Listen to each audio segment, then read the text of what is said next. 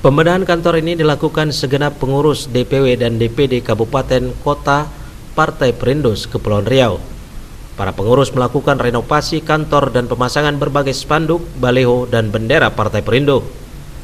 Ketua DPD Kabupaten Bintan Sucipto Hendro menyampaikan pihaknya ditunjuk oleh DPW Perindo Kepri ikut turut andil dalam melakukan pembenahan kantor DPW.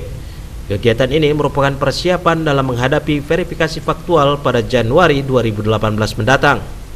Kami Ketua apa, Partai Perindo Kabupaten Bintan, jadi ikut serta untuk mem mem membantu sepenuhnya agar kantor ini menjadi kantor anu Partai Perindo, rumah Perindo di samping itu juga kantor ini apa menjadi pusat informasi di masa khususnya di masyarakat Tanjung Pinang dan pada umumnya di Riau.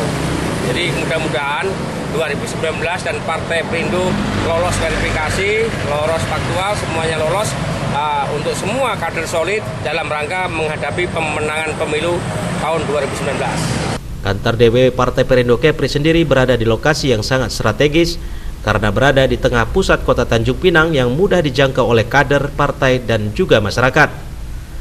Kantor DPW berukuran sekitar 200 meter persegi ini merupakan kantor milik sendiri yang nantinya menjadi pusat informasi dan pusat administrasi kepengurusan baik tingkat provinsi dan juga kabupaten dan kota. Dari Tanjung Pinang, Apandi Pohan, iNews memberitakan.